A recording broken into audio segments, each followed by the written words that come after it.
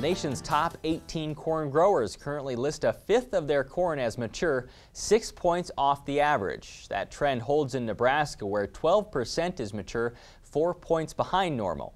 Nebraska Extension plant pathologist Tamra Jackson-Ziems says stalk rot is now appearing in some fields and could cause problems during harvest. Well, we're starting to see a few stalk rot issues, and so if people see a few plants starting to turn colors early before the rest of the field, it would be worth a trip out to check and see if they're having some stalk rot or crown rot issues, and especially the crown rot because that's where we're seeing the decay down in the root ball below ground.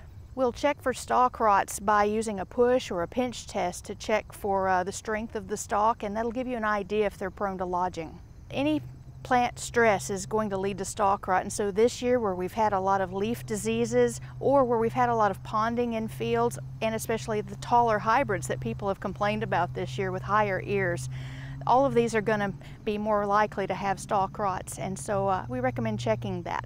If you find you have quite a few stalks that are uh, thin or prone to lodging, I, I, would consider harvesting those fields first or even a little earlier than normal to try to get them out before we have any lodging events.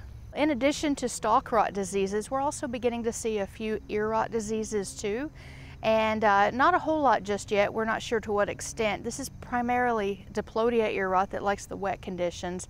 So if you see the ear husk beginning to discolor early, be sure and get in there and husk those back. Take a look at the kernels and look for fungal growth. And remember, if you do have a lot of it and you harvest that and put it in the bin, it will continue to grow. And so we recommend letting it dry down to less than 15% if possible and cooling it off as quickly as possible to slow down that growth.